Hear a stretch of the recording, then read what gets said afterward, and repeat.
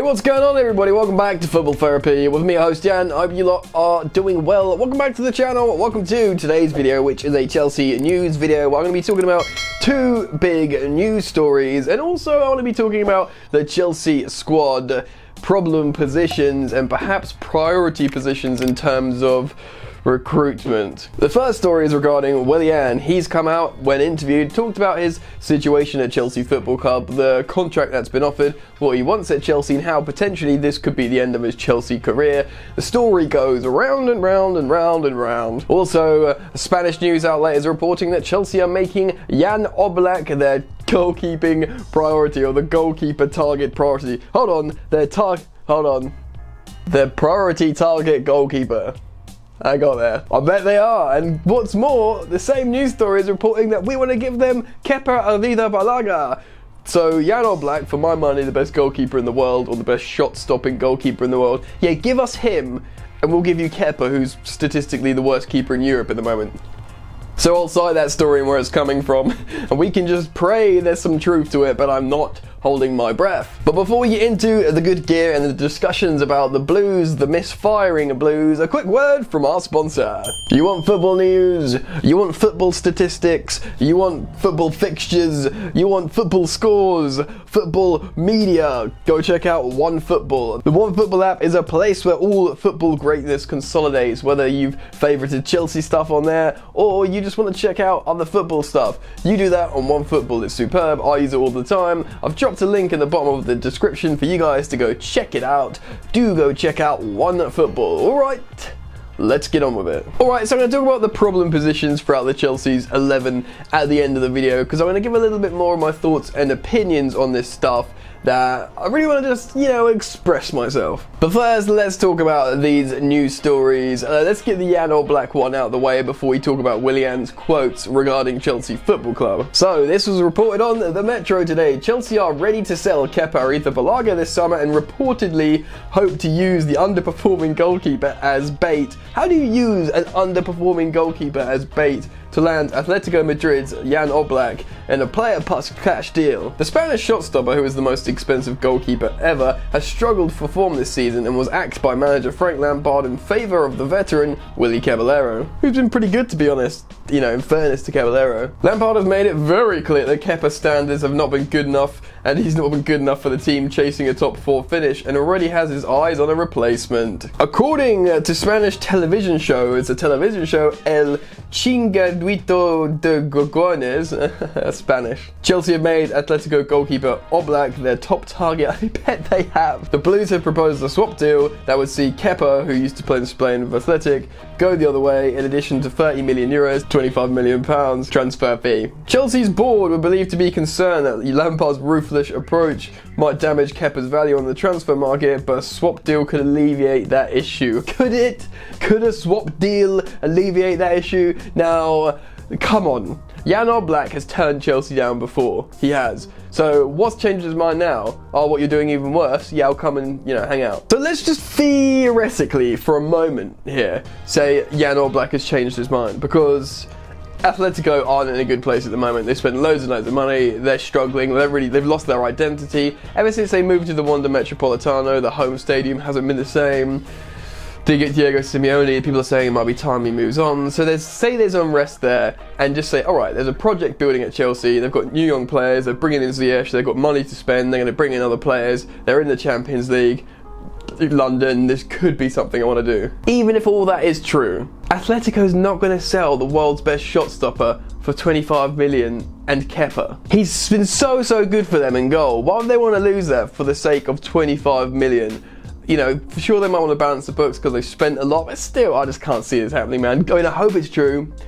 Again, I'm not going to hate on Kepa, but Jan Oblak's elite. I just hope it's true, but I think in terms of a realistic target, Andre Onana from Ajax is probably up there. So there you go, I've spoken on that news story. Next up, Chelsea's Brazilian winger Willian, who has been in exchanges with Chelsea for a long time regarding a new contract. Again, the Metro reports, Willian has indicated that he could leave Chelsea at the end of this season uh, as the club are refusing to change their contract offer. Now, I'm surprised they're offering him more than a 12 month extension as a 31 year old, but let's read on. The 31 year old is in his seventh season at Stamford Bridge, a long time, but his current deal expires at the end of the campaign and he could leave as a free agent. Chelsea have offered Willian a two year extension, but the Brazil international wants an additional year and is unwilling to accept the club's proposal as it stands. And the midfielder now admits it is difficult with Chelsea refusing to change their term. And Willian's quoted saying, Chelsea offered me two years and they are not going to change what they have offered, Willian told Esporte Interativo. I'm so good at Spanish. This is what he said after Chelsea's defeat to Bayern Munich in the Champions League. He goes on to say, The situation is difficult because of this. I really don't know if it will be possible. My goal is to continue working and focus on the remainder of the season so that Chelsea can continue winning games for the remainder of the season. Now, Willian's great, fine. He has got quality on his day. He can absolutely light up a pitch. He's not consistent enough for me to really be a top tier forward line player to challenge for titles or consistently keep Chelsea in the top four now, in my humble opinion. I know Frank Lampard loves him, fine, I dig it. He's got great work, work great work rate. Easy for me to say. And that's important in the Premier League. But his time might be ended. To be honest, like two year extension, he wants three years, man. He wants to play at Chelsea when he's 34 years old. As a forward winger, man, that's that's ambitious. So I get it. Willian might be out the door, and I think that's probably for the best in terms of bringing in yet another elite level winger. Pedro out, Willian out, Ziyech in, who knows, maybe someone like Sancho in, or another top tier winger, bearing in mind Ziyech can play in the number 10 as well. It just kind of makes sense. So on that, let's talk about the problem positions on the Chelsea pitch. So let's do goalkeeper. Fine, I'll concede goalkeeper. If Frank Lampard genuinely doesn't see a future for Kepa Arrizabalaga, then goalkeeper. Hopefully, someone like Andre Onana can come in. That would be very exciting to see a new goalkeeper between the sticks. Hopefully, one that inspires a lot of confidence. So great. I think that's widely accepted. Also, as well, I can't imagine Willy Caballero is going to renew his contract because he's going to be 39. And as good of a backup as he's been, you're just getting old now, bro. So there's that. We all know left back is a problem position. Chelsea need a conventional left back that can pretty much replicate what the dynamics of Reece James in the right back position, but do it in the left back position. It's all very well having the defensive solidity of Azpilicueta playing left back and Marcos Alonso playing left wing back when he's not getting sent off against Bayern Munich and getting turned. But you see what I mean? That's pretty much an obvious problem position. Next up, striker. Yes, Tammy Abraham's done well. Yes, Giroud's had a good game in that formation, but really Chelsea need I'm going from someone to rotate with Tammy and potentially challenge him that if maybe Chelsea get the opportunity to sign an elite marksman then get it. I don't think Chelsea should spend like 100 million on a striker, but I feel like they should sign someone that could start a run of games absolutely fine, and it wouldn't feel like they're playing a really, you know, massive B-Tech striker. Do you know what I mean? Giroud's gone, Batshuayi might be sold. I don't know when his contract runs out. Might be two years. Regardless, a striker is really, really important at this point. Chelsea are flush for midfielders and Hakim Ziyech is coming in who can play in the number 10 role. Um, obviously, Billy Gilmour's been promoted. There's enough midfielders around the Chelsea squad to do the business. They just need the people behind them to inspire confidence and the people in front of them to convert chances. So winger as well. So we've got a winger, a striker, a left back, a goalkeeper. and a lot of people have been discussing a centre back. Now, Chelsea have four decent centre backs Rudiger, Tomori, Zouma, and Christensen, but they all seem to rotate form. Like Christensen's been the better one of late. Uh, before that, it was like Zouma, because even before that, Zouma was bad. Tomori was the shining light and the best of the lot when he came in. Who knows, he still might be. I don't know why he's not been playing. Rudiger was the most senior figure when he was left out for the beginning majority of the season. Everyone's like, oh, they need Rudiger to come back in, that best and most you know consistent centre back. And he's come back in and he's been the worst centre back. So it's peculiar. They all rotate form.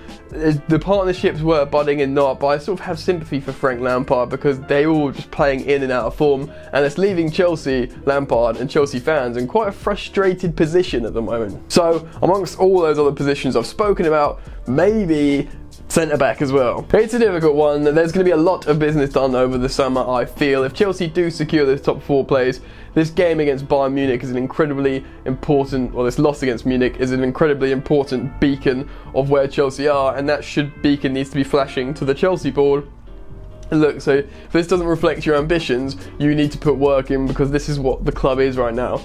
Make sure you abide to financial fair play, but this is a reflection of what Chelsea are. It's not the manager's fault. Really, it's not really the players' fault. It's their level you know, the ball's in your court, it's your move, what you gonna do? Anyway, what do you lot think? I'm keen to get your thoughts and opinions on these news stories today, the Jan Oblak thing, the Willian thing. Get down in the comment section below, express your thoughts on those two stories, and also problem positions on the pitch. Tell me players that you'd be interested in bringing in, and who you think is the weak link in the current Chelsea squad. If you have enjoyed the content today, guys, please do like the video, that means a lot. Why not subscribe if you're new to the channel and follow me on social media at Football Yannick on both Instagram and Twitter. That's it from me, guys. You lot enjoy the football, and I will see you later. So tough with that bad boy tuck. I'ma get it how I'm living, I'ma walk the walk. Outline my lines, I rap through thought. Body bag the verse, outlined in chalk. In my life, seen trouble, hustle on the double, silence on the trigger like my pick got a muzzle. Yo, chick like to guzzle, bad boy stay in trouble. I only love this paper, sorry I don't. I laugh me, baby.